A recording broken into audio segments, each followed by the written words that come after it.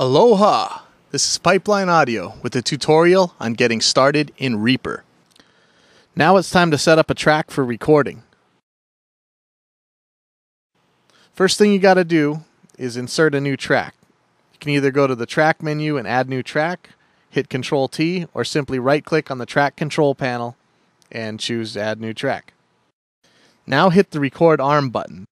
Left click inside the tracks meter to bring up the input device drop down menu. You'll see this menu is divided into mono inputs and stereo inputs. On the stereo input menu, you'll find some stereo pairs that you might not see in other apps, but go ahead and feel free to use them. This is just one example of the little details that, even at this beta stage, has inspired rabid devotion from the Reaper users worldwide. Left click on the track monitor icon to choose between monitor off, monitor always, and auto input.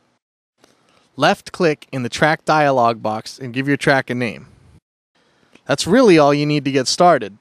So go record something.